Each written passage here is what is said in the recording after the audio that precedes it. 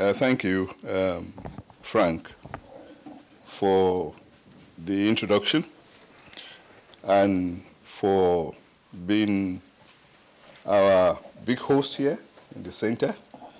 It's been a pleasure to uh, be your colleague uh, in Harvard Divinity School.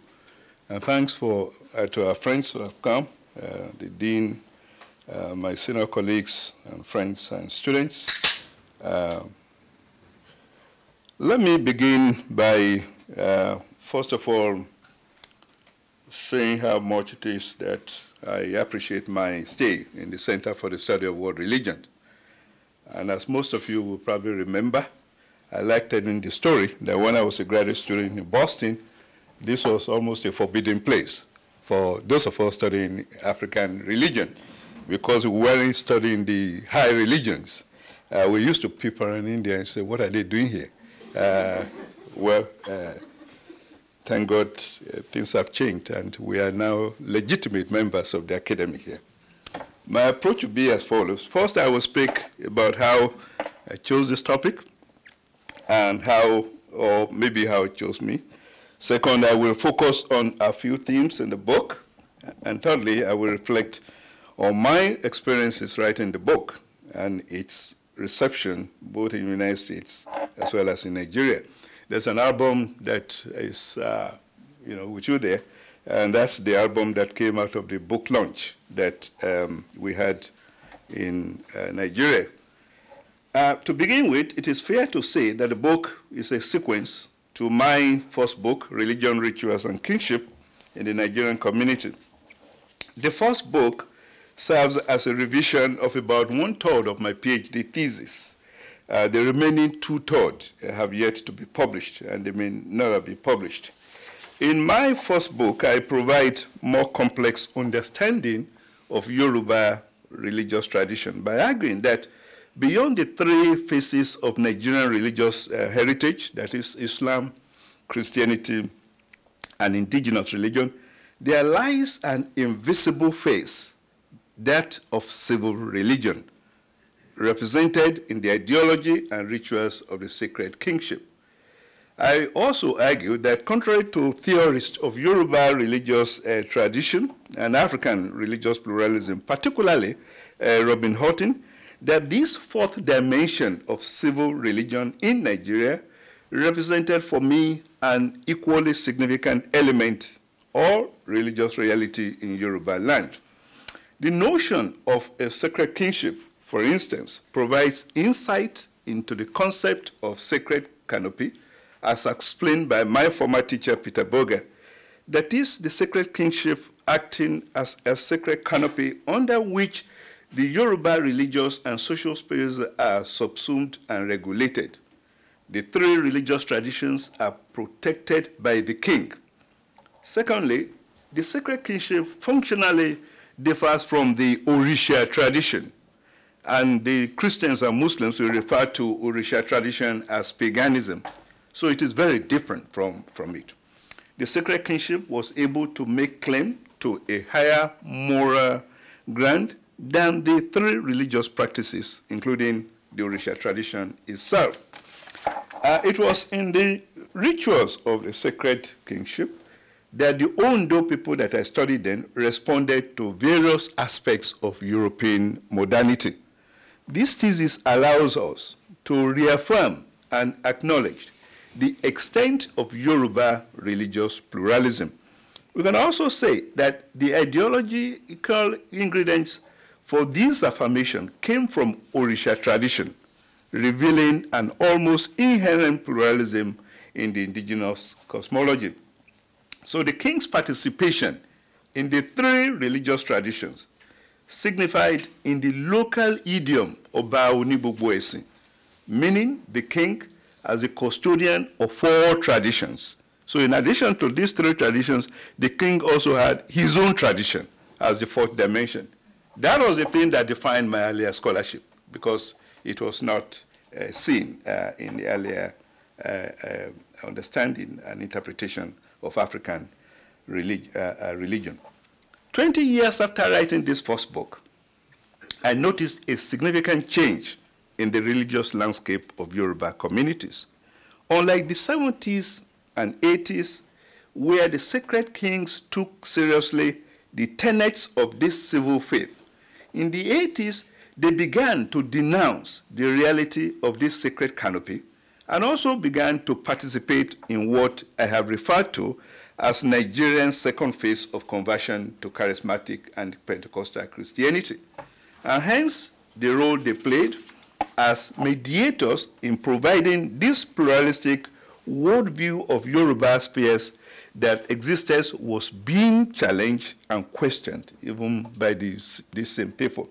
So suddenly, the Yoruba Christians and Muslims rulers became more concerned with the salvation of their individual souls than the collective group's salvation. It was as if the sacred kings themselves began to deny the reality of their own divinity, to question it. And in fact, about a month ago, I was uh, there, and one of the kings did uh, what was almost a taboo. He removed his cap in the church. Um, you know, I happened to be the king of my hometown. So in other words, this king loved their, they, they, they loved their crown as it represented the power of kingship. However, they have been made to despise the rituals that gave meaning and legitimacy to their roles as kings in the first instance.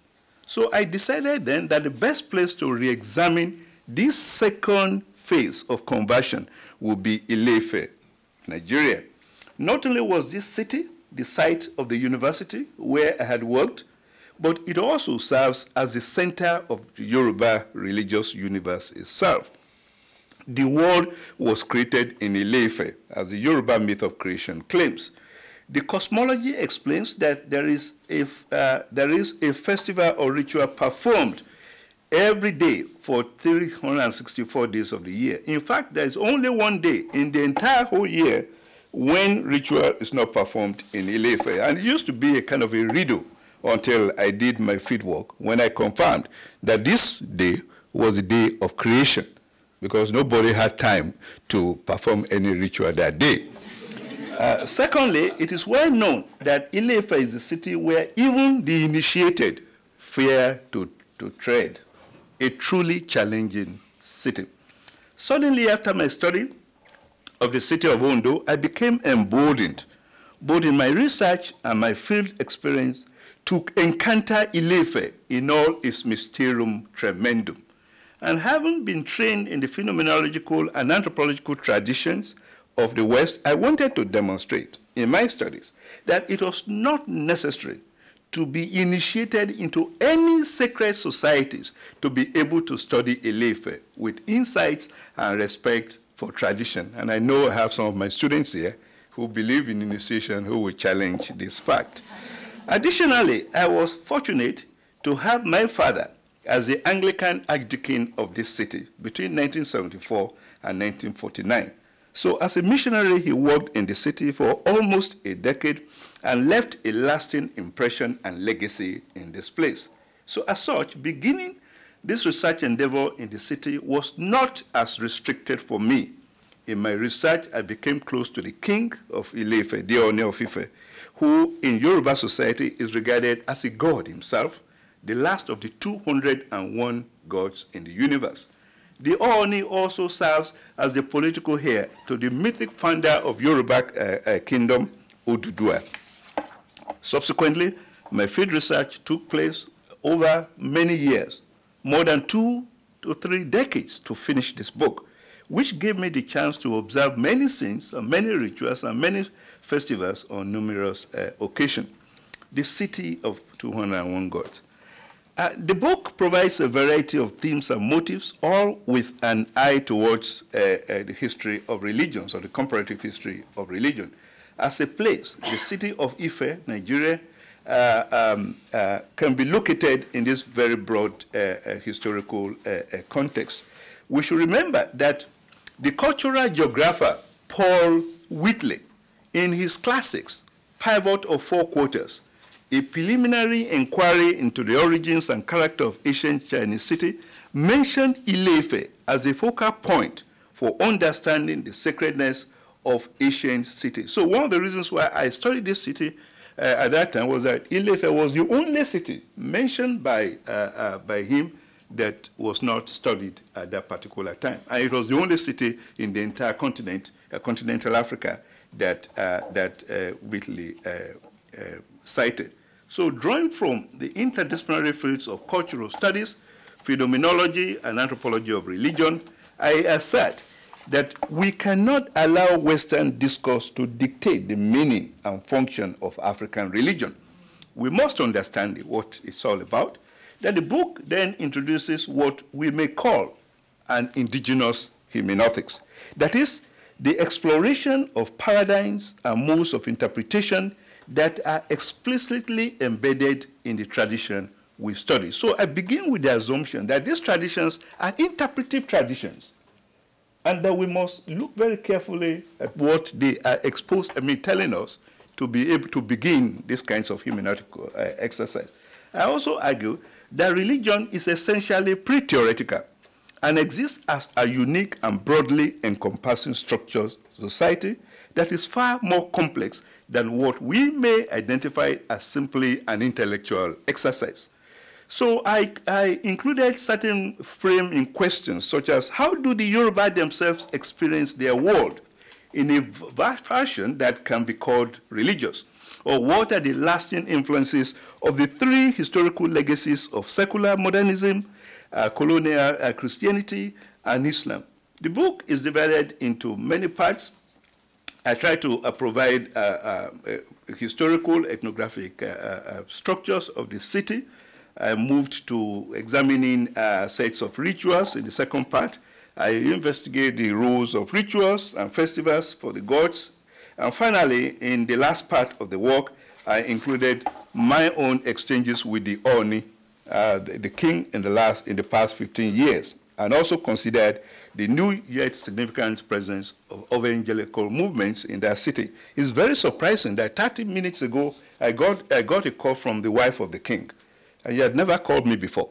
Um, you know, wanted to discuss, uh, the, the, the Ooni sent her to tell me uh, uh, something. Um, the work, uh, as it is, enables me to re-examine notions of gender, conversion, sacred space and time, popular culture, notion of play and ritual, sacrifice, etc. The unforeseen consequences will be that while I honestly think that the work's primary focus was on indigenous tradition and how the ancient sacred kinship that supported a civil tradition has been challenged, questioned, and denounced. To my surprise, it turned out that scholars and general readers were equally interested in the theme of conversion and Pentecostal charismatic movements. Everywhere I went, and I'll discuss this thing, they bring me back to it. That's what we're, they're interested in, which is almost a reflection of the problem itself, that, you know, why I decided to do the book. That is, people were interested in those forms of religious traditions that tend to render implausible the structures of the whole tradition as represented in sacred kinship. So this, for me, indicated that the civil religion is slowly becoming an uncivil religion, as the king and his wives become more closely affiliated with the new Pentecostal religious communities in Yoruba land. This is in part because in the palaces of the kings, the Oloris, and the one I spoke with was the one who actually built the, the chapel. The, the, the king was in England, and before he came back, he had laid the foundation for a local chapel in Ile-Ife Palace, which is a taboo. And the priests rebelled against that. But when the king came back, he couldn't do anything about it responses to the book. In concluding, I will briefly share some of the reactions to my book, as well as some of the conversations that followed uh, uh, this publication. Firstly, and as I have alluded to, even though the City of 200 Gods was meant to be a work in indigenous religion as it relates to this city, I realized that its publication, uh, that, uh, that the publication sort of opened a kind of a Pandora box on the question of Pentecostalism and evangelical Christianity. The book's conclusion begins to address the dynamics of this relatively new development. But I soon realized that I will need to begin working on another project devoted entirely to this type of topic or to evangelical Pentecostalism in Yoruba land to be able to really make meaningful out of that. Secondly, there emerged all kinds of questions that people raised about the implications of my research and my supposed connection to such a topic. Many people inquired as to whether I was involved in Orisha tradition itself. It was clear that I was being judged by my supposed proximity to the Orisha's topic. It is true that the religious transformation of Yoruba land related to the growing power and prevalence of evangelical communities has greatly marginalized indigenous uh, religion and has also had significant impacts on cultural heritage and tradition, which are now seen as the work of the devil, particularly by the Pentecostal, uh, evangelical Pentecostal uh, groups. And, and, as such, there emerged a number of questions about my own motivation behind the work on Ileife, religion and tradition. Indeed, my own saving grace was that I came from a long line of Anglican uh, uh tradition, and this lineage made it difficult to discount me. You can't say I'm not a believer uh, as far as Christianity is concerned, because the lineage uh, history is very clear. But there were also occasions when I had to play safe. And this was a, and I remember one particular case when I was going to be embarrassed by uh, the, uh, one of the priests of Ifa, and there were 10 of, 10 of them. I was the only one who was not a devotee to Richard. And they asked me, Akowe, uh, they used to call me the writer, Akowe, what is your own Orisha? What do you really, you know, worship? And I looked around and I said, oh, uh, uh, why are you asking me this question? You should know better. You know I'm a twin myself. I'm, I'm a Beji. Is the, the head of the Orisha itself. So uh, you can't be asking me on my Orisha when you are talking to, to Orisha. The diviners, they, they just dropped their thing. They were kind of reeling on the floor because, and they looked at, I think, Shiva, mean, Professor, one day people say, this Yakowe is, uh, is, is a kind huh, of a man. Huh? So I was able to do that. In regards to, in, in regards to the book's reception, uh, at the book launch in Nigeria, I was honored to receive the Ooni himself, who had sponsored this event. Every person that mattered in Yoruba community showed up to attend the event. They wanted to know about Ilefe, the, the very mysterious city. In fact, it was a wonderful irony because even as the Oni denounced his godlike status, because the book is also about him, a topic discussed at length in the, in the conclusion of this book, the citizens of Yoruba land see fit to attend any event that he hosts. So they came in large uh, uh, uh, number. So when at, at, a certain time they asked me, what is your relationship with this, with this man? My response was to cite a passage from the transfiguration uh, story of Jesus. And I quote him, and I said, in, I said it, of course, in Yoruba, this is my beloved father, in whom I am well pleased. Again, another interesting response to that. So, in other words, I used the Christian narrative to convince the askers of this question that I was not involved in the court of the Oni as they wanted. That's why they were going. You must be a member of a secret society doing things with the Oni, and you're pretending here. So I gave a Christian answer to that, uh, uh, that, uh, that uh, uh, question. Lastly, the book is celebrated in Nigeria uh, partly because the Yoruba elites have always been puzzled by the Ilefe mistake. Indeed, it is perhaps this aspect of, uh, of which I'm most proud of, that for me, a native scholar has finally written an accessible yet scholarly work for them to read about their past and their present. So the book serves as a reminder that Africans have often been the narrators of their own cultural and religious history and encourages a, a continued in, in investment in such indigenous hermeneutics and the engagement of ethnic voices from the continent. And I should just make a passing remark that uh, we've always, you know, invited uh, uh, outsiders to study us. You know, Yoruba studies is perhaps the most studied in Africa. And, the, the, and Yoruba scholars themselves will refer to people like Peel, uh, uh, Karin Barber Birmingham, Peel as, as the doyen of Yoruba thing. They have no problem with that. But what is very problematic for us is when now people start beginning to say that you don't understand your own thing. We have a better understanding and interpretation of this, of this, of this work.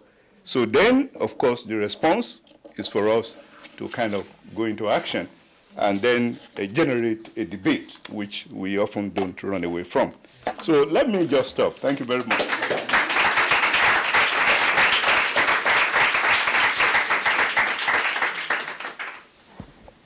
Jacob, thank you very much for getting us off to a wonderful start.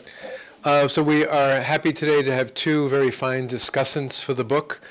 Um, it was made clear to them in inviting them to come that they're, they're not required to do book reports or summarize everything in such rich a book, but rather to bring out angles of it and questions of particular interest. So I will introduce them both and then turn the microphone over to them. Our first discussant is Laura Grillo, I'm happy to say is a fellow here at Harvard Divinity School this semester and has been around for many of our events, so it's good to, to have you here. Uh, professor Grillo is a professor at Pacifica Graduate Institute in Santa Barbara, California, where she has been teaching for the past 10 years. She has a Master of Divinity degree from Union Theological Seminary and her PhD in the History of Religions at the University of Chicago, where she specialized in African religions. Uh, Laura lived for about seven years in Africa, in Cote d'Ivoire, and in Kenya, where she taught in both public and private schools and served in program development at the All African Conference of Churches in Nairobi. Her postdoctoral work on divination in Cote d'Ivoire was sponsored by the NEH, American Academy of Religion, West African Research Association, and this work um, culminated in a number of publications, including in 2010 an essay entitled When You Make Sacrifice, No One is a Stranger, Divinization, Divination, sacrifice, and identity among translocals in the West African urban diaspora, and the article Divination, Epistemology, Agency, and the Construction of Identity in Contemporary West Africa in Blackwell's Religious Compass, Religion Compass. Uh, Laura is a gifted writer and a versatile writer. Uh, she has written a memoir about her haunting return to Cote d'Ivoire, her marriage there, and her uncanny experiences among Ivoirian diviners. Um, the work called Ask for the Road has won many prizes and awards and invitations to, um, to teach writing and to aid younger scholars in the writing project. Uh, Laura, um, in part while here, but a larger project, is now working on a new book project, tentatively entitled Female Genital Power in Ritual and Politics in Cote d'Ivoire. It is based on fieldwork of ritual spanning a 30-year period, linking it to the current aftermath of the recent civil war in that country. A recent article on the topic, Violation and Deployment of Female Genital Power, appeared recently in Cultural Anthropology's Hotspots Forum, and she recently gave a paper on a similar topic at uh, the University of London School of Oriental and African Studies. So Laura will be our first respondent, and then we have a second, Professor Nimi Wariboko, who is the Catherine B. Stewart Professor of Christian ethics at Andover Newton Theological School, so a neighbor of ours not too far away. Uh, Professor Wariboko has a very, I was fascinated knowing nothing about the business world. I was always impressed by this. Uh, he was a strategy consultant to top investment banks um, on Wall Street for a period of time, so has expertise in business. His um, BS degree in economics is from University of Port Harcourt in Nigeria. His MBA in Finance and Accounting is from Columbia University in New York. His MDiv degree from Oral Roberts University, and his PhD in uh, Princeton Theological Seminary in Princeton. So you can see bringing together the worlds of economics and the worlds of theology and ministry. Um, before coming to Andover Newton, he was adjunct assistant professor of social sciences at New York University and at the Frank Zarb School of Business at Hofstra University, also in the New York area. Uh, he came to Andover Newton in 2007. So his work, as you can tell from this introduction, focuses on economic ethics, the intersection of business and religion, ethics of monetary systems, economic development and social theory, and more recently, Pentecostal theology in Nigeria. Um, his, his books, his many books, include these, in 2008, God and Money, A Theology of Money in Globalizing World, 2009, The Principle of Excellence, A Framework for Social Ethics, 2010, you do a book every year, it seems. Uh, 2010, Ethics and Time, Ethos of Temporal Orientation in Politics and Religion in the Niger Delta, 2011. Uh, the Pentecostal Principle, Ethic, Ethical Methodology in New Spirit. And he is um, currently completing another book, 2013 probably, um, The Spell of the Invisible Pentecostal Spirituality in Nigeria. So we're fortunate to have two very rich and diverse experts to uh, open the book discussion for us. I think Laura will go first.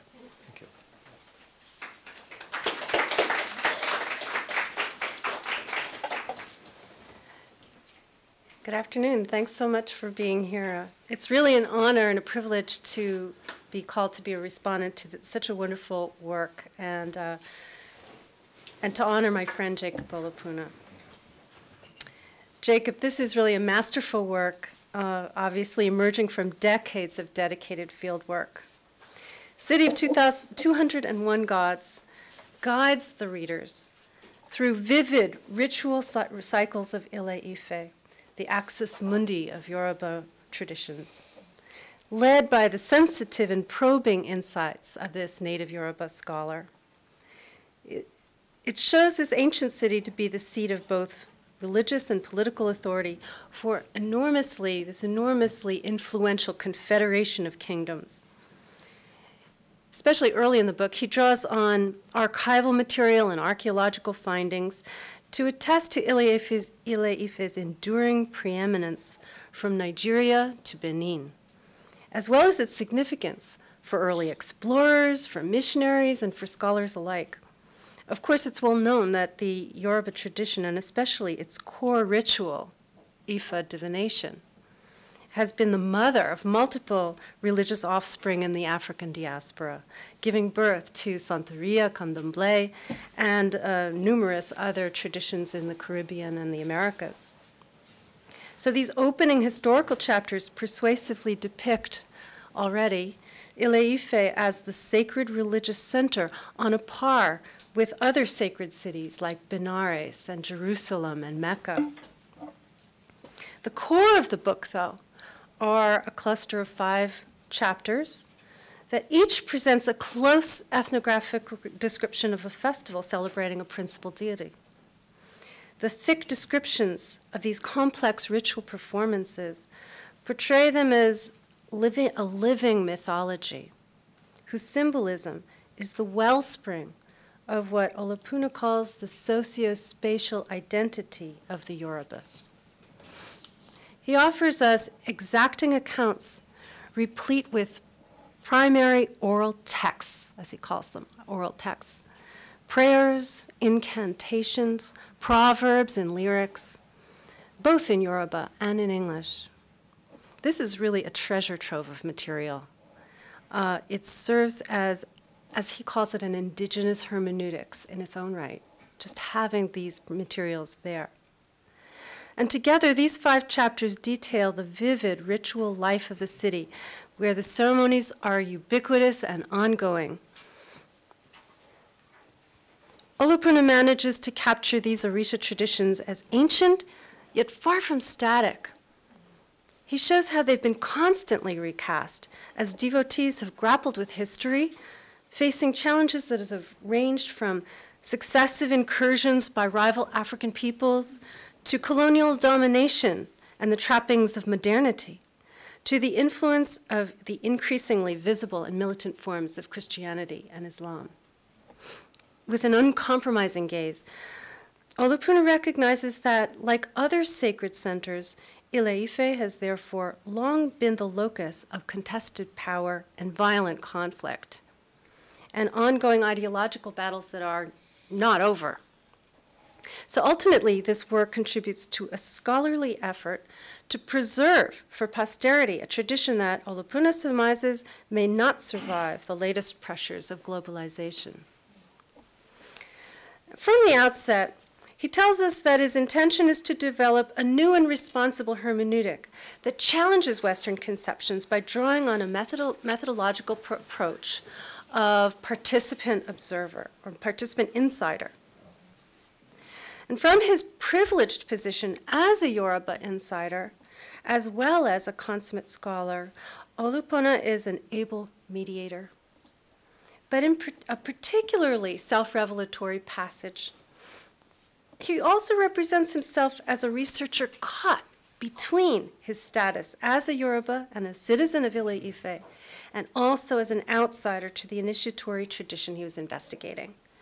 He candidly shares his internal struggle between using his privileged position to gain access to deeper levels of knowledge for the sake of his study, and on the other hand, his own sense of identity and integrity as a Christian and son of an Anglican priest. I found this a moving passage, and this self conscious acknowledgement, moreover, of his ambivalent position lends a postmodern texture to his account, both in its self revelatory nature and in the very dilemmas that it, it was re- revealing. In addition, Olupona quotes at length interviews with informants, allowing them to explicate symbolic and ritual images and key cultural motifs in their own words, acknowledging their profound awareness of the meanings of these seemingly cryptic acts to which we're privy through his rich descriptions.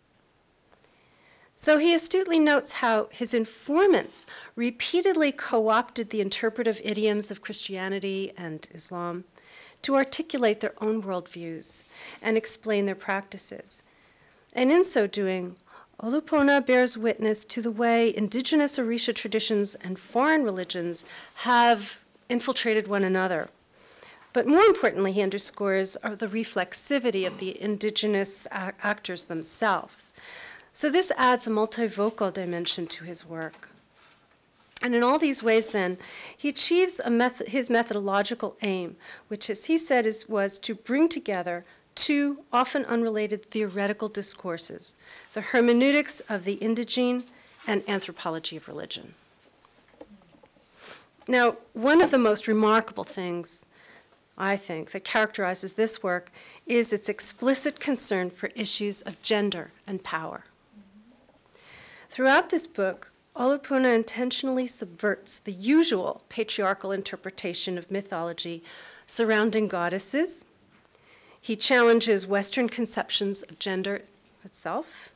He gives ample attention to the critical role and the status of women, a subject that he himself notes is usually neglected by the prevailing male centered scholarly discourse surrounding Yoruba religion precisely because attention to women's agency and import is still so rare in religious studies, this aspect of the book deserves more than a brief acknowledgement, so hence my, my focus on it. And let me give you some examples of how three of these central chapters make gender and female agency so key. Chapter 5 focuses on the Itapa festival for the primordial couple, Obatala and Yemo. Obatala, god of purity, wields moral rather than political power. And mythology depicts his spouse, though, to possess such an innate spiritual power and energy that she's this bloated and insatiable, bloodthirsty creature. For this reason, she's associated with the dangerous power of witches who control the life force that blood symbolizes. But according to the myth, her appetite and these sinister aspects of her are subdued by Ifa, who magically makes this once barren woman able to procreate. So Olupona is quick to undermine the usual patriarchal interpretation of this narrative. So instead of making the tale about how maternity tames the wild beast in woman, he shows it to be a comment on traditional Yoruba ideology of gender that considers innate female powers to be so great that they can only be restrained by the equally potent forces of magic. Chapter 7 features the goddess Moremi and the rituals attended to her. Its central purpose is to consider gender and the critical role of women in Yoruba society. Moremi's story is a classic tale of a hero sacrifice that delivers Ile Ife from Igbo incursions and slavery. She's a Yoruba Delilah who uses her beauty and seductive wiles to wed the enemy king in order to discover the secret of his people's warrior might. Her revelations then allow her people to triumph, but in exchange for her success, she must fulfill her promise to the river spirit, and that that she would make a sacrifice, and that sacrifice ends up to be her only child. For both her seductive power and the sacrifice of her offspring, she's known as, quote, the courageous woman who used her vagina to conquer the Igbo. That's her praise name. Olupona shows how the story contests masculinized conceptions of heroism and also complicates traditional notions of gender and power in Yoruba society. So here too, he's playing a very postmodern hand by, by making place for a critical female figure who represents women's ability to defy gender roles and surpass gender limitations, which the Yoruba call bottom power. That is referring to her, her, her private parts and the locus of this power. And chapter 8 examines a 14 day festival honoring Oduduwa, the fashioner of human beings, whose cult is esoteric and restricted to men. Now, he inquires into the easily overlooked but critical participation of women in Oduduwa's rituals that ostensibly exclude them. In doing so, in actually inquiring further about women's participation, he learns from the chief priest that there was no part of Oduduwa tradition that women did not know about. And that's a quote. Moreover, citing missionary archives dating back to 1889, he notes that Oduduwa was worshipped as a goddess and that the priestess of Oduduwa held more power than the local civil leaders. Excuse me. This is a kind of this kind of critical information is the kind that many male predecessors would have easily ignored or perhaps even suppressed. And it opens avenues for new assessments of gender ideology, gender relations, and their changes in African tradition.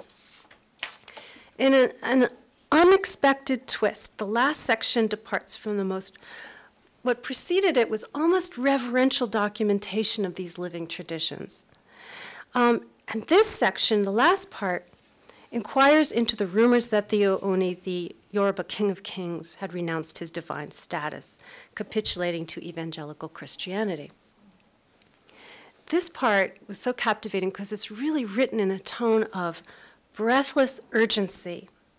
The section uh, lets us follow Olupona back to Ile Ife in 2004, the year after he thought his, he had completed his fieldwork for the book, and witness with him the profound shift in the religious climate.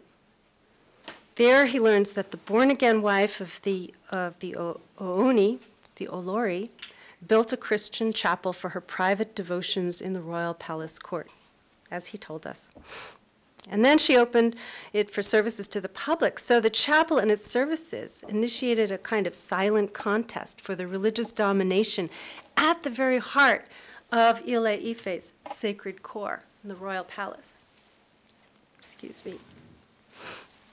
The extracts from the transcripts between Jacob and the king and queen show Olupona courageously confronting the royal couple about the ramifications of their personal religious choices on the indigenous Orisha tradition that they are expected to represent as instantiations of divine lineage.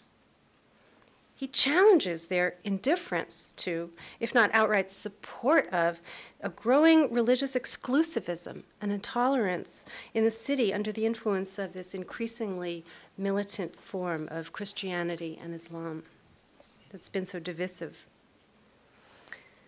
The extensive excerpts are intimate and gripping. One really feels in Olupona's questions and in his subsequent analyses both respect for their personal dignity and faith, and also his shock for the degree to which the traditions have been put in jeopardy by their capitulation to fundamental Christian propositions. Again, we see the decisive role women have played in the landscape. Women comprise 70% of this new evangelical movement. And as we've seen, it's the Christian fervor of the king's wife that led the Ooni to renounce his divine status. Her influence effectively pulled the linchpin from the sacred system of Ile Ife. Olupona suggests that it is ironically the African diaspora community that may offer the greatest hope for the future of Ile Ife as the pressures of the external community exert a buttressing force on this city, upholding it as a sacred center. Ifa divination has been uh, so pivotal, um, the pivotal rit- Yoruba ritual at the heart of many of, is at the heart of many of the burgeoning traditions in the diaspora in the Americas and the Caribbean. And more and more the faithful from the diaspora make regular pilgrimage to Ile Ife, especially to attend the Ifa festival there, calling it their Mount Arafat. The influx of pilgrims fortifies their sense of identity, even as their presence visibly reinforces the sacrality of the spiritual city. So now, understood as a globally viable religion with strongholds in the Americas and the Caribbean, Orisha tradition is drawing strength from this kind of reverse mission and into Ile Ife as a site of pilgrimage. So the tradition's most promising strategy for survival appears to be the ability to capitalize on its global status and to mobilize a transnational quest to see the city's symbolic significance restored in this way. In conclusion, there's just so much, so much abundant and suggestive material in this work. Uh, it offers so many avenues and possibilities for further exploration that it's truly a gift. This text has brilliantly opened the way into still uncharted territory. And for this, I, all of this work and for that opening, I really thank you, Jacob, for this work. Um, I have questions, but maybe we'll leave, leave them till later.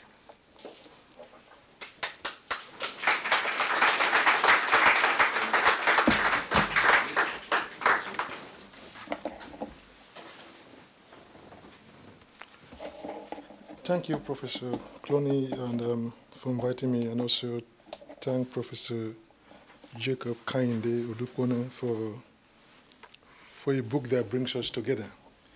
I've titled my response, The King's Five Bodies, Pentecostals in the Sacred City, and the Logic of Interreligious Dialogue, because I felt um, part of the book also calls for how do these two religions, even Islam and uh, Christianity and the traditional, the how could they coexist in, in the light of the role that the king plays as a, as a sacred king and also in this role as a civil civil religion. So, so I will read um, excerpts from the, the paper. It, it, led me to write a much more detailed paper, but I'll read excerpts uh, from it to get the idea of that we need to read from Olupona's work. He has raised issues about the political theory of the Ooni, and we need to explore that further. So it says, we are gathered here to discuss uh, Professor Jacob Olupona's latest book, The City of 2001 Gods Ile Ife in time, space, and imagination. His effort is a first-rate introduction to African religious thought and philosophy and a pleasant, sophisticated discourse of the same. Through this book, Olupona has fed the Religious and Theological Academy with the fresh bread of scholarship and the savory meat of rigorous research. He has said something to us in his knowledge production that is, we can no longer remain behind the security of brilliant old ideas and methodologies to produce knowledge about African religion. More importantly, the book exceeds its author's location in African religious tradition. His discourse is one of political theology and political philosophy. Olupona deftly lays out the glory of power in Yoruba, that is the ceremonial, the liturgical, and the acclamatory aspects that accompany sovereignty.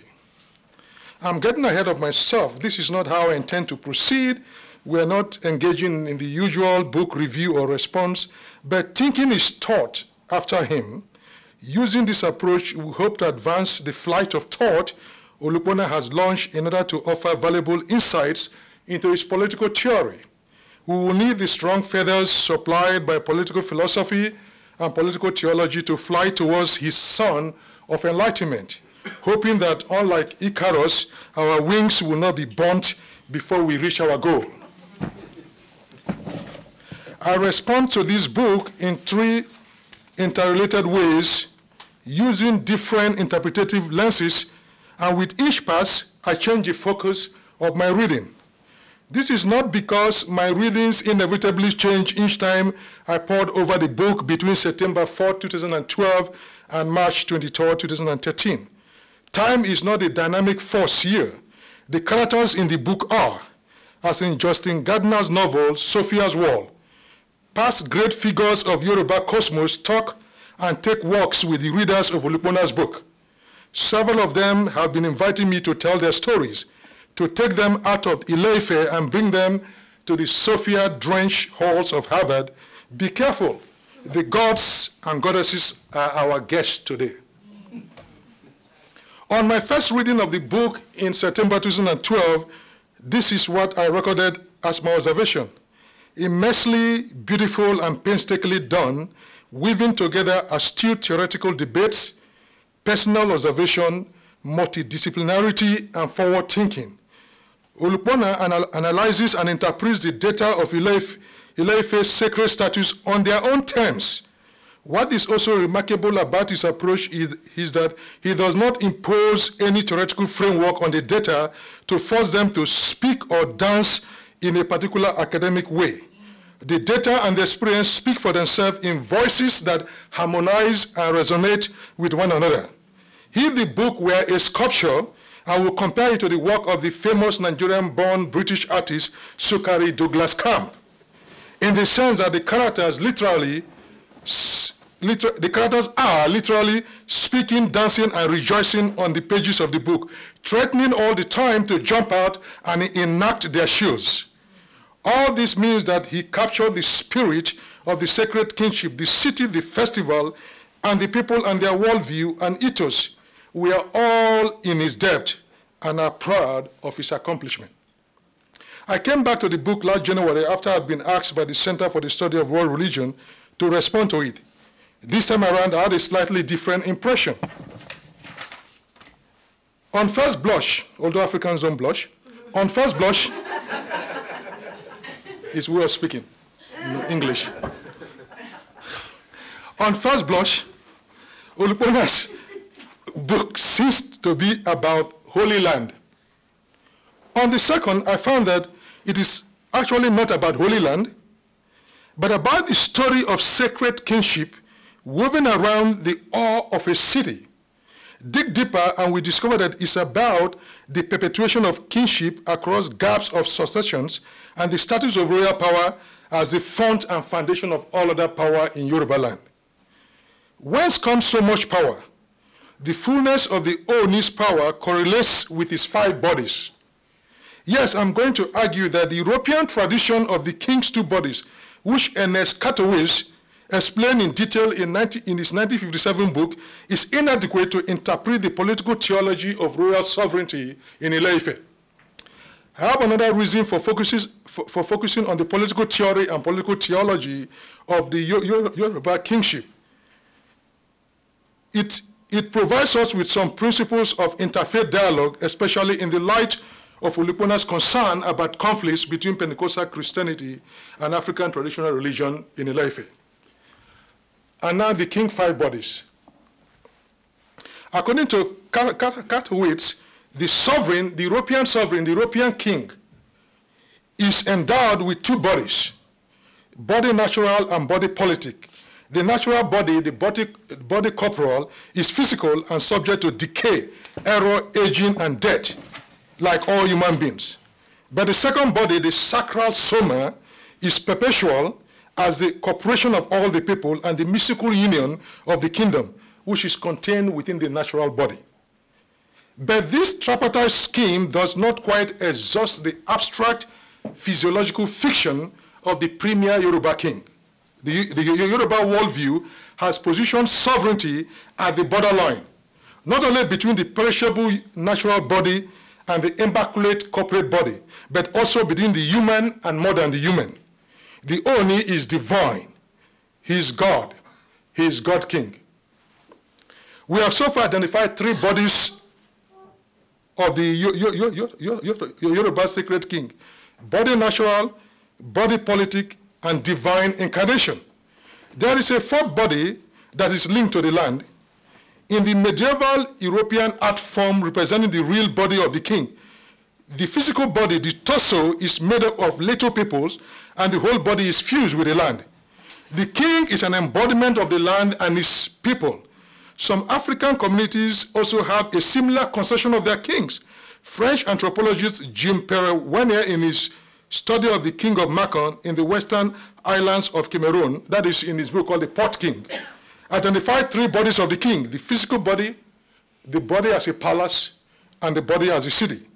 The Ooni is also the body of Ileife. He is the body of the sacred center that is Ileife. The city of Ileife is the focal point in which the divine meets the corporal.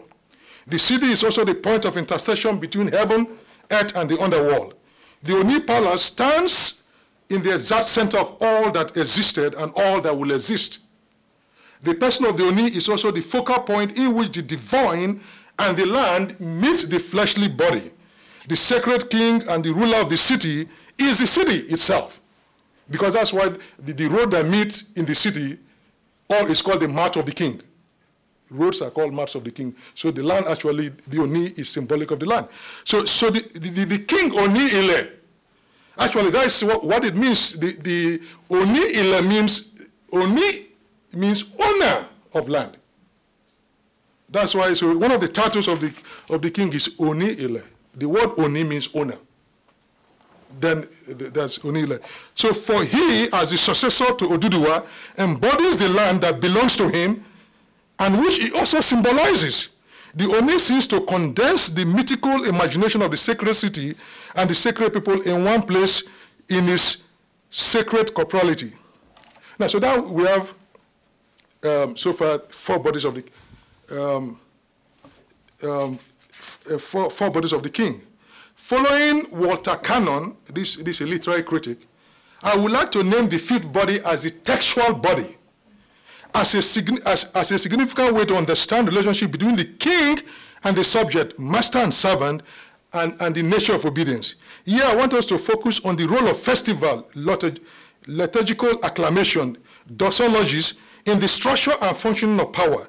What Olukpona describes so well as festival and rituals are the center of the political apparatus of the Ife monarchy to build public consensus for its leadership. The festival and public rituals are the social communication on which, the, on which rests the public agreement for the king's dominance and his vital role in securing the sacred canopy, the civil religion. The, the, festival also connect with what the Italian philosopher Giorgio Agamben calls the glorious and the active dimension of government. The construction of the textual body of the Ooni is not limited to festival. He is the center of numerous oral narratives in the Ifa corpus. Overall, the textual body serves to paper over the inevitable gap that exists between the Ooni's metaphysical claim to power his divine status, and the particularity of his flesh and blood. As Cannon puts it, the textual body is the presentation deployed by the monarch, ceremony, exhortation, proclamation, speech, gesture, which finally must be constructed, read, and interpreted by the people. The more unified or seamless the textual presentation is read, and the more unconscious the people are that they are actually constructing this text, the more likely that the subject will accept the king's legitimacy. Let me now, so now, so, so the European model of two bodies does not explain Yoruba. Now you, you have all these force. It's a much, much com com complex notion of kingship and sovereignty. Now let me connect my explanation of the five bodies of the king to the importance of number five in Yoruba mystical thought. My thesis is that the Ooni in his royal body is, is a replica of creation. An imago mundi, just as the Ifa divination tray is a woody reproduction of the original world order and is important as is of power. The lyrics of the diviner's, diviner's invocation of Ifa is in tone as follows. Front of Ifa, back of Ifa, right side of Ifa, the all-knowing on the left, the center of Ifa, and the center of heaven. So the five is important. And in, in the longer paper, I did show how, once you understand this, that not only the Ifa tray represents the world, the Ooni in his body represents these five centers of the world. And until you come to the breakthrough point where you understand these five bodies, all of a sudden it opens up also what is happening with the Ifa. Now, based on that, I now said, from the Oonis five body, we can draw out the principles of interreligious dialogue between not only African traditional religion, but Christianity and Islam. I said, I said these five bodies also, uh, there are political philosophies, political theologies that tell us how life, people could coexist to, to, uh, together, how the Ooni or the kinship can still function as a rallying point for unity. And I said, Olupona in his last two chapters of the book focus on the conflict between Pentecostals and the worshippers of various Orisha. Here I want to suggest some guiding principles for such a dialogue between the two groups. I will draw them out from the theory of the king's five body. That is from Yoruba's sacred kinship tradition. This way of drawing out the principle for Pentecostal navigation of the political commons in a sacred city is to underline the fact that the dialogue partners are not bringing their specific principles to the others, but are to discover them among other religions. For, for the ingredients of peaceful coexistence are already there in the other's political theology. What Africa needs is already there within the tradition, African traditional religion. The, the first body of the king is the physical body, the biological body. This body that he shares with all human beings points to the inherent quality, uh, equality of all human beings who are created in the image of God. The theological idea is that all persons enjoy inherent dig dig dig dignity because they are created in the image and likeness of God, endowed with reason and freedom. The dynamic equivalent of this Christian principle in African traditional religion is that all human beings have esse, teme, she, or sunsum in the Akan tradition, a central unifying vitality in them. They are ontologically connected. This principle demands that Pentecostal treat the, the religious order with respect and dignity because they all create an image of God. The, the second body of the king refers to the social collective or the socium, the corporation of the people in the giving kingdom. The dynamic equivalent of this notion in African traditional religion is the corporate essa or sonsomote. There is a corporate spirit or the or this the, the, the, the collective in Africa is not a melting point that boils away or boils down distinction and particularities. The corporate body of the king point to the network focus of the different members of the community towards the common good. The need for right relationship at all levels and spheres and gestures to the hope of full realization of citizens' potential so that they can contribute to the paramount goal of society, which is the preservation and promotion of the common good. The divine body of the king is symbolic of the community's need for a relationship with, with an ultimate concern. As a symbol, it points and participates in what it points. Similarly, a community collective action must not only point towards God, but also participate in the dynamic divine ontological cre uh, cre creativity. The, com com the community, the African community, whether Ife or anywhere, stands in and stands out of God. In the terminology of the African traditional religion, all of nature and human socialities are open to the more than the divine realm, to the dimension of the transcendent. Who or what is that God? In a pluralistic society, we must allow people to define for themselves who or what that their ultimate concern is. This means that we must solve, we must not solve common problem by insisting that everybody must believe in the same God. And I'm saying this because even though look us to uh, either the one on Ondo or if he has always said, look, Nigeria cannot operate on a secular basis, that, that the religion must be allowed to play their some role. The, the fourth body of the king is the land body. The king is the embodiment or the guardian of the earth, the environment that sustains life traditional Yoruba ethics is aimed at the restoration of, of, of, of, maintenance of the right relationship with the environment. And therefore, the respect for the environment, the respect for the land must also become a principle for public dialogue among, among the religion. And then, finally, is, is the king textual body which, Olupona, if you have read his work from, from the beginning, his first essay he ever published as a graduate student at BU to now, is always be concerned about the role that symbols, values, shared uh, uh, norms play in preserving the, the, the public school, uh, in preserving the sacred uh, canopy or recreating it when it, it, it has different. So when we look at those festivals as the king's textual body, it points beyond the king to the need for a commonly shared uh, uh, symbols and values and festival that bind a society together. And this is something the Pentecostals are also used to. I mean, creating identity. And, and therefore, festival, some of these festivals must be seen along those lines. And I think Pentecostals and others need to join hands with that. And I think this provides some principles to initiate an interfaith dialogue or interreligious dialogue within the Ile Ife tradition. Thank you.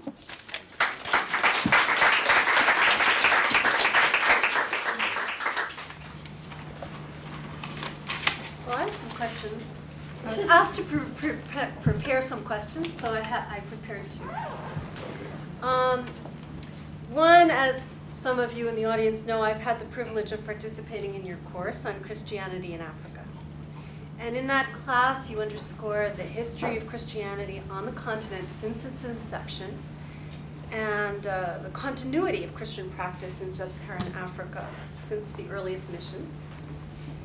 But in this book, you seem to suggest there's a radical discontinuity between the earlier forms of missionization that tolerated, to a large degree, the indigenous civil society, which was founded on the traditional religious values and precepts. And then the, the discontinuity between them and the current strain of this American-style evangelical Pentecostal religion that has demonized African traditions and has forces a radical break with the past, both a personal and a collective radical break. So I'd like you to comment on the ramifications of this for civil society, and in particular for tolerance of religious pluralism, uh, which is so much at issue today in Nigeria. That's my first question. You want to hear them both at once, or just? Yeah, yeah yes, yes. Yes, okay. So while you cogitate on that, here's the second. Um, in saying, as you have, that all study of African religion must take account of issues of gender and power, you have been a pioneer, especially among African scholars, male African scholars. So I'd like you to say more about this, the basis of your position. Um, for example, do you believe that Yoruba religion and African religion or African religions in general uh, take a radically different position on gender than the position of other world religions? Are you suggesting that it's necessary to use gender as an analytical tool to understand African religions and not to misinterpret them? What are you really saying? yeah, uh, I? Well, um, thank you very much. Let me thank both of you for comments. And, uh, so my colleagues that I'm now seeing who have read the manuscript or read the book, so I, I want to thank you. Relating to the first question, um, I write not uh, simply because I am a professor, a scholar of religion. I'm also uh, witnessing to you know the, what is the transformation. It's very hard for people who do not know or lived in the Nigerian of the 50s and 60s to appreciate what is going on and what I have not seen. And that's why my, uh, my book about my father is very important because those stories are there. When uh, in, in times of conflict, uh, the traditionalists are doing their thing, and the Christians in the Anglican tradition wanted to come out to disturb a festival where uh, the tenants, uh, the women must not come out. And it's just for one hour or so. And the Christians said, no, we're coming out. We're going to challenge them. And the king sent a chief to my father. Please tell him, tell Reverend, he used to call pastor, that I am still in town, that I'm in charge. And so, as a trained priest, with seminary education, uh, uh, um, spent time in, in Bristol, was well educated, he got the message that you must not disturb the peace. You must respect the king. He owns the land, like you just said. The land belongs to him. And so they had to find a way of working around it a kind of a negotiation that respected the sacred kingship, but at the same time did not capitulate to threat. So they actually went out, but they did not disturb the festival. That is a different story today. So we see this kind of trajectory that uh, we, uh, that uh, uh, moved us from the that time of Anglicanism to the contemporary period of Pentecostal charismatic thing. The difference between the two, of course, the middle point is the independent African churches. The period before Pentecostalism in 1780 uh, uh, uh, period.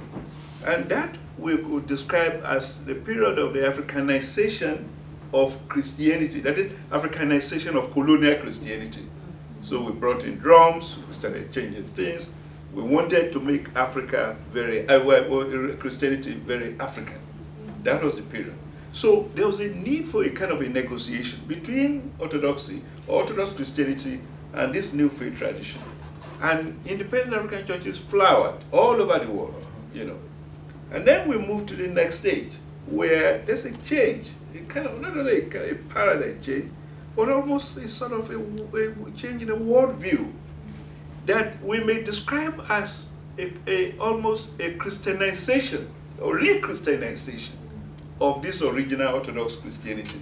In other words, we are not too happy with this form of Christianity because the Christianity is mixed with culture.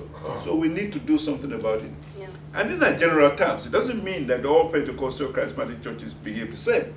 But there's a trend in which, you know, and this is what is given back to this thing, whereby the kings are now going to the uh, assemblies and prayer houses of the Pentecostal pastors to kneel before them and ask for prayer. It was the opposite. And so, uh, very few of us are qualified to, to document this. And for me, it's not just an academic exercise. I saw it. I lived it. I saw even, even evangelical Christianity within the first, first realm. My grandfather was, uh, you know, a Christian catechist, but at the same time, he was a chief.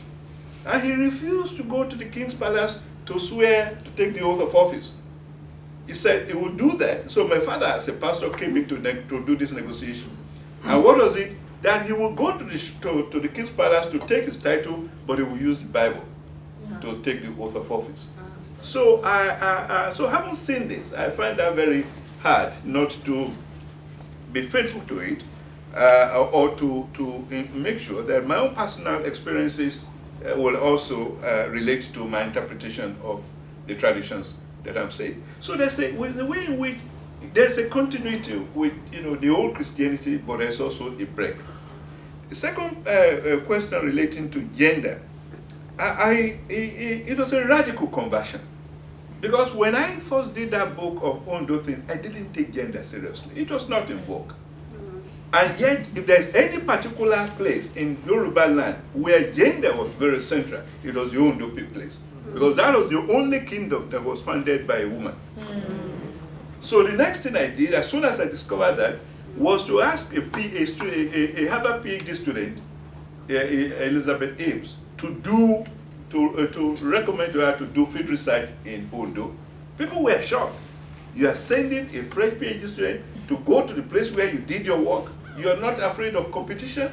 They didn't know what was behind it but I said, no, what is competition? It's when you are not sure of yourself that you'll be afraid of com competing with who? so I encourage that. So Elizabeth James did that. You know, her book is coming out uh, very soon. It took us some, you know, years to, to revise it, but it's coming out very soon. So it was important. I, I, then I discovered that the gender is so central to this society, to the Yoruba culture. And it takes scholars like us to uh, able to read between the lines to give these kinds of meaning and interpretation to that. And this is one of the reasons why people in the diaspora are, are, are fascinated by the Yoruba stories.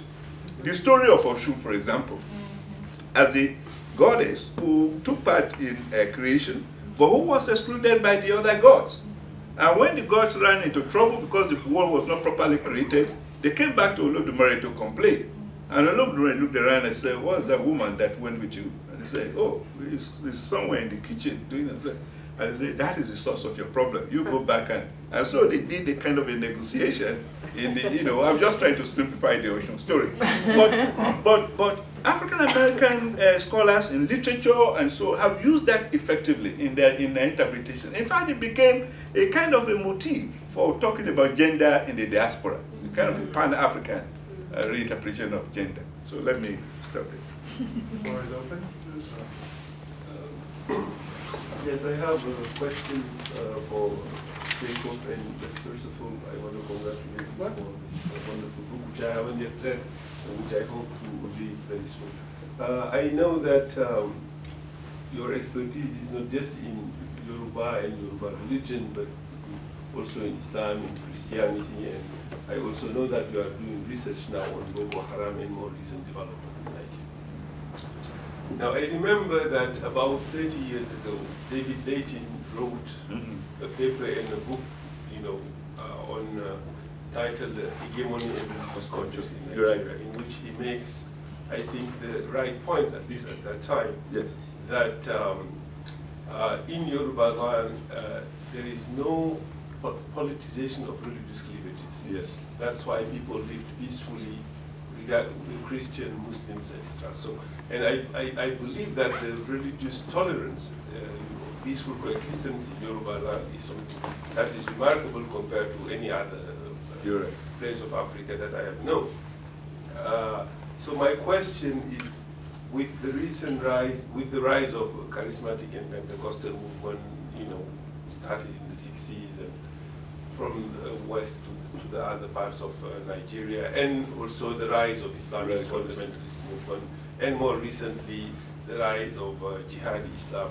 To what extent has that affected Yoruba land and you know peaceful uh, exi- uh, religious coexistence, coexistence in Yoruba land? So that's uh, something that I would like you to, to, to, to, to comment on. For example, the Boko Haram Yeah.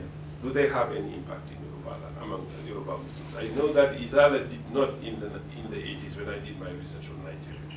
So so these uh, new jihadi and more extremist uh, manifestations of Islam, what, are they uh, well received in Yoruba? And I remember that uh, Laitin, when explaining uh, peaceful coexistence in Yoruba land, he says because this uh, ancestral city identity uh, was more important than the religious Yeah. That's how he explained why Muslims and Christians could uh, live peacefully and that people, Mm. uh, in, in one family you may find Christians and Muslims who would celebrate Christian and Muslim holidays, etc. So, uh, I, so my question, I guess, is what is happening now? To Yeah. what extent are, uh, have these uh, religious ideologies affected peaceful coexistence in Yoruba land? Yeah, uh, uh, thank you. Um, you, you probably uh, noticed that he referred to a, a, a pastor, a reverend gentleman in that book. That's my Right. father. Oh, yes, that's father? yes, that was my late, that was my late father, uh, because he did a field research in uh, in uh, in Ile-Ife. You know, he, the, the narratives came from there, and um, he was right in you know uh, pushing the ancestral city uh, thesis and arguing that religion uh, in among the Yoruba people uh, doesn't constitute any major major threat. In southwestern Nigeria right now, there are about five states. Four of the governors are Muslims. You know, four of the governors, actually three. One, uh, the governor of my home state, who is a Christian, he was actually from a long, you know, I mean, I tease him, he's not a Christian, he's a Muslim, because his grand, his father was uh, was a Seriki Muslimi of of thing. So he he was um, he, he probably just co- uh, converted more recently, and he was my junior in high school. So uh, southwestern Nigeria is going to be the saving grace of Nigeria as far as religion is concerned. If the Boko Haram phenomena enters that place, and Yoruba uh, Christianity and Islam and, and, and Yoruba states become the zone for religious conflicts, that is the end of Nigeria. We can predict that. So we, we hope and pray that it doesn't happen. It is because in that part of the, the land, Islam and Christianity crisscross. My father never told me that his mother came from a, a, a Muslim heritage, I mean, a family in Owo. He didn't say that. I just noticed one day that, uh, you know, we're having a, something in the village, and all the people that came from, uh, from Owo, you know, the mother's hometown, they were Muslims. And I called one of my uncles and said, ah, isn't there a Christian among you? And he started laughing. So your father didn't tell you that the mother was a, was almost a, was a Muslim? I didn't know. Because it was not, you know. So in other words, if you start fighting on the basis of uh, religion or you, you're fighting your own king's group or your own, it's, it's, not, it's not artificial. It, it's, there is no major Muslim family that doesn't have Christian uh, uh, uh family members and vice versa. Right now, there are rumors that these things are happening. Uh, they have discovered some Boko Haram cells in, in southwestern Nigeria. But I think the problem is that Boko Haram, you know, has become almost something that everybody is, you know, all the renegades are claiming that they're Boko Haram. We really don't know who is Boko Haram. You know, so I, we have a feeling that the number of people who are claiming that they're members of the Boko Haram, they're not really Boko Haram. Uh, so, however, southwestern uh, uh, uh, uh, state governors are not just sitting and watching. They are very, very sensitive to what is going on and they will do everything humanly possible to make sure that it doesn't happen. There are interfaith groups in all, most of the towns who meet regularly. The security is quite, is quite strong. Um, uh, uh, however, given these changes we are seeing in the religious spheres, particularly what you refer to as radical Islam and, and, and, and fundamentalist uh, uh, Pentecostal charismatic thing, is not impossible for these open conflicts. It's not impossible. Uh, but we just hope that it doesn't, so far it's not, it's not happening. And, um, uh, uh, uh but part of the problem is also the nation state. Nigeria can be described as a fair state. You know, I mean, I was there uh, a month ago and I made it that we don't need to be into theory of this is the first state. This is, the signs are there. So we all need to work hard to make sure that it doesn't it doesn't collapse, um, given what what we're seeing. Yeah. Please comment about the uh, supremacy between Alaafin of Oyo and Ooni of Ife. You know, oh, the, the, the conflict. Yes. Yeah. Okay. Because they cannot see eye to eye. Yeah. In Yoruba land. Okay. Well, yeah. The, the old Yoruba kingdom uh, that uh, went with the transatlantic slave trade was the Oyo Empire. Before Oyo Empire was the ancient Ife, the city that you know uh, became the focus of my work. And then, of course, uh, uh, civilizations will rise and fall. If you know, if civilization almost collapsed, and then the emergence of the old Oyo Empire that existed till the time of slavery, that extended to Dahomey and to Benin and so on. So, and then uh, the British came and the British uh, uh, pacification. And since then, there's been these two, these two groups, the old Yoruba, Ile-Ife, and then the Oyo thing. What happened was that when the colonial government came, the colonial government, and I mentioned that in the book, found a way of appointing, the, of making the, the Ooni the king of the kings. He virtually anointed him based on this myth and mythic, you know, uh, uh, stories. And historically, that has always been that. When they are going to form the major party, political party, that dominated southwestern Nigeria, the late Chief Awolowo came to Ife and, you know, and created the, that whole story. The Yoruba myth of origin became the basis for the formation of the action group. And in fact, it was the cultural association called Egbeoma Odudua. When there was, uh, Akintola became a renegade and wanted to form his own party, he couldn't move after that, that outside that ancient myth of Ife. And he called his Egbeomo Olofi. Olofi is simply the honorific title for Oduduwa. There's no difference between those two stories. So in other words, what we are seeing in the in the in the uh, uh, am I are you taping me? Well, what you are seeing, what you are seeing in the Oyo, we are, you know, what you are seeing in the Oyo and Ile-Ife, it's a, I think it's just a clash between two personalities. The story of Yoruba is clear. Ife was the place of origin, Oyo became the empire, and Oyo fell. You know, that's why uh, in the diaspora, uh, the city called Oyotunji, where a group of uh, Ethiopian uh, uh, African American community, they call it Oyotunji. It's a reference to that Oyo Empire, the resurgence, the recreation of the renaissance of the old Oyo Empire. So um, we are not happy about the, the, conflict, but there's no no context between Olof Alafia and there's no context between Alaafin and, and Ooni of Ife. Ooni is the that's the city of the Yoruba. That's the center of it. Uh, both of them are important. Both of them, you know, are making uh, meaningful contributions to Yoruba civilization.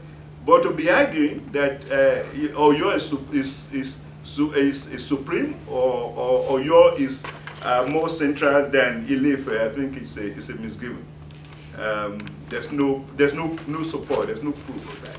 It's all politics. And of course, a lot of people are benefiting from these conflicts between these two, two, two, uh, two leaders.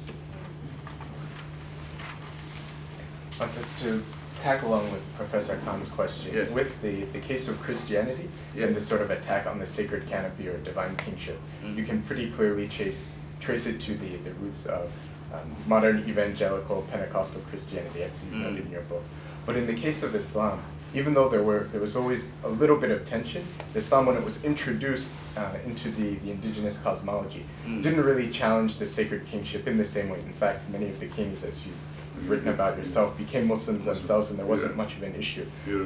But now if you're in most of the major Yoruba cities, you can hear over the speakerphones in the mosques, imams telling people, even some of them who go to see the traditionalists themselves, mm. not to go see the Babalawo, not to, they, they really challenge the, uh, the indigenous framework. And so where do you see the roots of that form of intolerance or that challenge on the case of Islam? Yeah, the world has become very global. So it's a global village. And there are lots of impacts and influences from other parts of Nigeria and also outside Nigeria. So this kind of global, um, like you said, Islamicism and the global Pentecostal charismatic uh, uh, movements, uh, they're all affecting culture and tradition and society uh, uh, uh, today. So because people cannot live in isolation, there's always you know movement. And within Nigeria itself, you know, the, the, the fact that they move back and forth. Uh, a number of these communities are in northern part of Nigeria, in Kano, in Kaduna. They used to be in Jos, and then they come back and, you know, uh, and, and, and there was a time when uh, the best uh, scholars of Islam were Yorubas in Nigeria. The best scholars of Islam who were professors of Islam in northern states. They were all Yoruba. Uh, but to, to, to point to these, these kinds of tradition, this tradition of Yoruba. I will give you one example. Uh, uh, before Saudi Arabia decided to ban Ahmadis from doing the, the, the, the Hajj, a number of Yoruba intellectuals and scholars were Ahmadis, including Professor of Islam. The three, I, I have three most distinguished professors of Islam were Ahmadis. They schooled at, I mean, they went to McGill, Ibadan, McGill, they came, they created the Department of Islamic and Arabic Studies, and they were producing, you know, PhD candidates. And then all of a sudden, Saudi Arabia said, you must not do, you can't do the Hajj because you belong to this Ahmadi. Ahmadi is a sect in, that originated from Pakistan, and then that uh, still talked about, um, uh, uh, now the ultimate of, the, of the Prophet Muhammad, that there's still a prophet after the Ahmadi, uh, after uh, Muhammad. So they pounced on them, and they declared that. You know what happened after that? Our professors of Islam publicly now denounced Ahmadi. So you will be asking us that people who were well trained in Islam, who were quite in there, why did they remain Ahmadi until, um, uh, until Saudi Arabia pounced on them and said, no, this is, is, a heretical movement. Is it that they didn't know before? That is the thing. That's the nature of Yoruba that was not an issue. They went to Ahmadi schools. They benefited from it.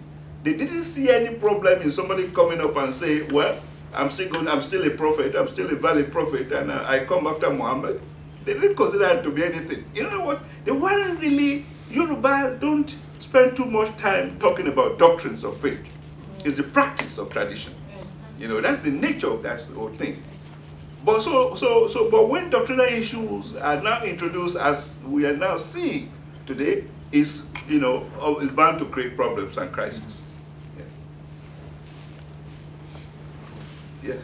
Uh, clarification on the Ahmadiyya. Yes. They were one of the original groups to bring Islam to America. Yeah. But I thought they were um, conceived as being uh, heretical at that particular time. And uh, their bringing of Islam to America was a continuation of, of uh, Yeah. disruption of orthodoxy. Yeah. Is that, Y- y- Yes, it's, it's uh, uh, do you remember the year when Saudi Arabia, it was in the seventies. this In the 70s. Sometime in the But this is- yes. close to nineteen hundreds? oh, oh, oh, uh, yes, well, they were, you see, Ahmadi movement, Ahmadi movement uh, in southern, in southwestern Nigeria, particularly, in Yoruba religion, uh, uh, Yoruba area, I would say Ahmadi was the group that brought, modernity to southwestern Nigeria. They were, they came in full force. They were the one that used the method of the Western missionaries, which is build schools, build hospitals, uh, uh, uh, uh, uh, uh, establish social services, and, and people will convert. So people seized on that. In fact, they, their schools rivaled the Christian mission schools, yeah. you know, during that period. So nobody saw any problem with that. So you are right that a part of the history of, of course, Islam in, in North America, uh, particularly among African Americans, was that a number of these sects came from different places and they went to uh, places in Michigan and uh, you know, all these places where they now established uh, schools and built um, uh, hospitals and, and, and converted uh, people to, to Islam. That was exactly what happened in western part of Nigeria. In fact, I, I would say in, in other areas of West Africa too, uh, maybe Senegal, Ivory Coast, you know, they made significant impact. And nobody saw anything wrong in that because nobody discussed doctrine. Until then, you know, this, this uh, uh, edict uh, uh, came from Saudi Arabia that sort of, you know, uh, said to them, you cannot come, you can't be, you can't come here.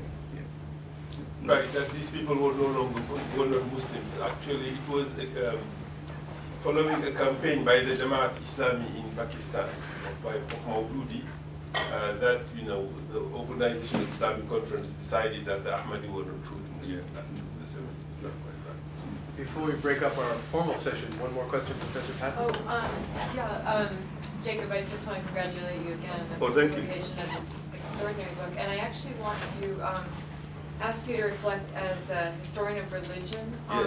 on, um, Ile Ife, and I have a, a modern or postmodern aspect to my question. Okay. One of the most important contributions that the book makes, and I've told you this so often, is it um, really follows Wheatley's uh, vision, Yeah. and it um, compels historians of religion around the world to place Ile Ife in consideration, You're right. comparative and symbolic consideration with the great, what Diana Eck calls the great orthogenetic cities, right. which, um, such as Benares and Jerusalem, You're right. Tenochtitlan, as Carrasco has shown us, and, and the great meaning-producing cities where the, uh, as you say, the cosmos is, um, is both created and then reproduced, and You're right. serves as a kind of paradigm for the culture, and it's, um, the book really, um, insists that Ile Ife become part of Part that of that larger discourse. comparative discourse about Mm. cities. And one thing I was thinking about, um, I'd love to hear you comment, are we in this country impoverished of that type of city? Because it seems as though, not only because of our youth, but because of the, uh, the struggles, the agon of our history, that we, um, and because of the separation of church and state, You're right. uh, our, our pluralism, one of our great strengths, but are we, will we ever see such a city in this country? It almost seems as though in Washington DC, um, there was an attempt to almost self-consciously create uh, you're such right. a city, but I'm not sure if it ever could be a city like Ile Ife or Yeah. like uh, Jerusalem or Tenochtitlan. What do you think about, Yes. about that? Yeah, yeah, yeah, thank you. Um, I, I, it's going to be, uh, because our own uh, constitution uh, in this country is defined in you know, secular terms, um, and even though we know that religion uh, plays a very important role in the day-to-day uh, uh, uh, lives of Americans, it doesn't have that kind of, you know, as you know, doesn't have that kind of status, so to say. Uh, uh, and what is interesting about uh, civil religion, which is also connected with it, is that there are two types. One, it is assumed that any functioning community, society must have this sense of rituals and myths that unite them. So it's almost natural civil religion. But uh, Toguzo, who also uh, debated that, uh, and I think uh, Bellah commented on it, is that it can also be created. You see, it can be created to unify a diverse groups of people. So we know within America itself, uh, uh, uh, uh civil religion has helped to cement, you know, uh, communities and provinces into one. That's why Bellah's a single article in 1967, I think, became, was it 76 or I can't remember the date, became so pivotal in, in, you know, in dealing with that. But what is also interesting and why this model that we discuss is, you know, uh, is fascinating, is that in all the places where it's been used to study cities, the, you know, the, the model has been used to study city, there are also, also contradictions within those cities there. One of the things that, that, that fascinates me with Ife relates to the prayer that my father used to give when he was there and there were conflicts. Every day they were fighting, Ife was fighting Modekeke. And that has to do with the, with the, the prayer in reference to Jerusalem. You know, gbàdúrà fún àlàáfíà Jerusalem. Àwọn tó fẹ́ yóò sì ṣe rere. You pray for the peace of Jerusalem and those who, you know, love the city. Uh, what is that? Um, yeah. As the president there. Well, you know that, that he will start his litany without prayer. We were in Ile-Ife, he was talking about Ife, so to say. But the, the prayer has to do with the Jerusalem prayer you know, in the, in the, um, in the Bible. And, and I began to now make this connection that within this cityscape itself, you have serious conflicts, just like what is happening in Jerusalem, just like other secret cities, you know, that, that uh, scholars have, have studied.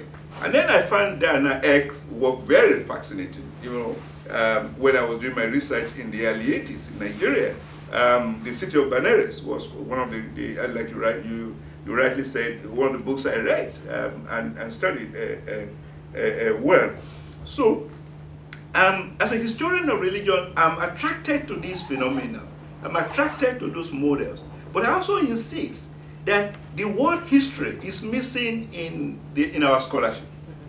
And that we need to be able to show, you know, spatially, so, so to say, not only spatially, but also historically in terms of the evolution of religion in those cities, so that we can truly call ourselves historians of religion, not just that we are phenomenologists, uh, so to say, but that we can discuss religious transformation in cities, in time and space.